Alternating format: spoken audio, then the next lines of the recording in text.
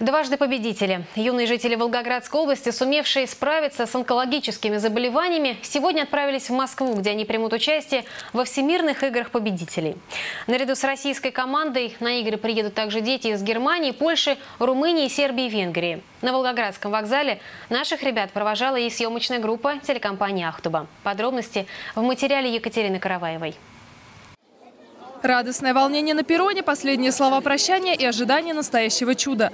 Для кого-то из этих ребят поездка на Всемирные игры победителей, да и просто визит в столицу станет первым в жизни. Кто-то уже принимал участие в этих состязаниях. Однако всех детей объединяет одна самая большая победа. Победа над страшной болезнью, диагноз которой часто звучит как приговор. Главная идея – это доказать, что детский рак излечим. Потому что не все верят в это, многие опускают руки. Но те, кто борется, они побеждают. И вот это, ребята, победители. Эмоции, конечно, радостные, тем более, что я рада, что при, после такой болезни есть возможность ребенку показать что-то еще. Всемирные игры победителей проводятся в Москве уже в третий раз по инициативе директора благотворительного фонда «Подари жизнь» Чулпан Хаматовой. Эта общественная организация много лет помогает детям, страдающим онкологией. Игры победителей Музей дают возможность детям пройти реабилитацию после страшной болезни.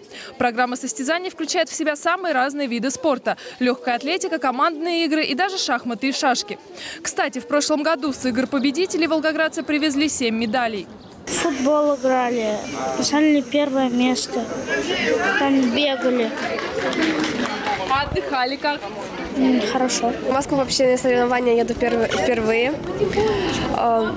Ну, конечно, я надеюсь победить. Ну, хотя бы получить награду какую-то. В Москве ребята пробудут три дня.